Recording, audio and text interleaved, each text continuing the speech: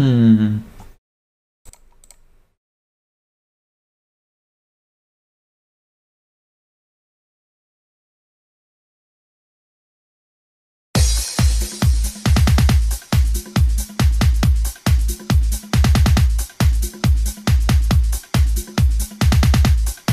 Okay, that looks interesting.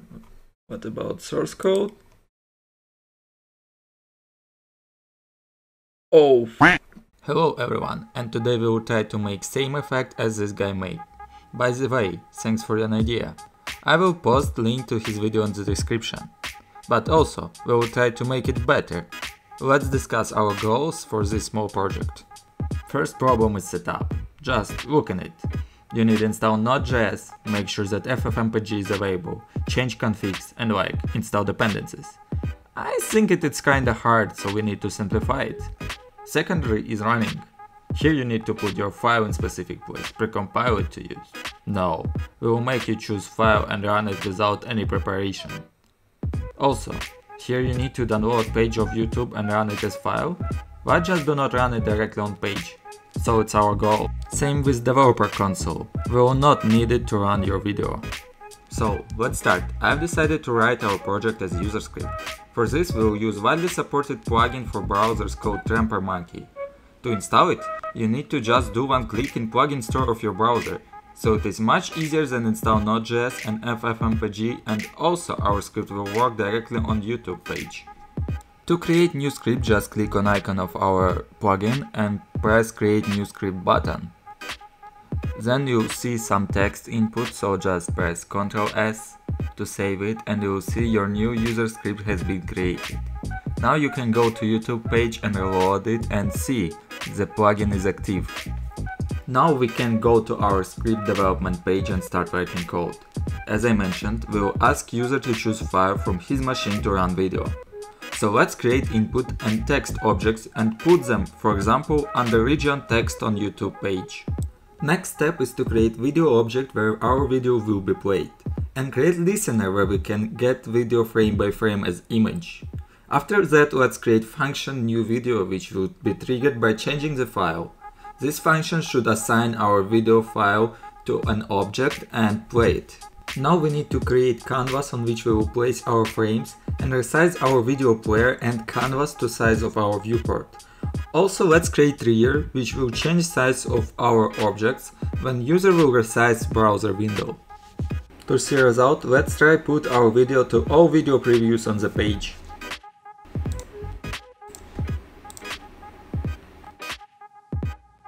As you can see it's now freezing because there's a lot of places we need put our video on. So let's wait a second and you'll see. So...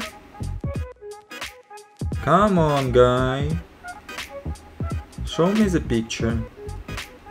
Yeah!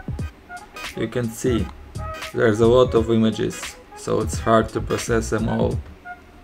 Let's wait and we'll it will show us another frame. Yay. Now we will need a temporary canvas on which we will cut parts of our video. We can know position of each object and its size, so there is no problem to do that. Let's try to do it and see result again.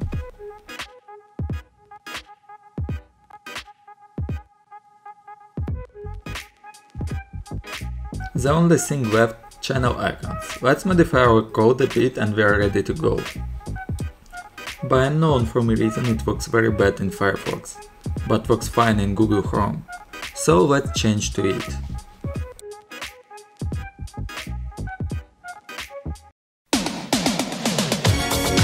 Okay, okay, bad joke, now for real.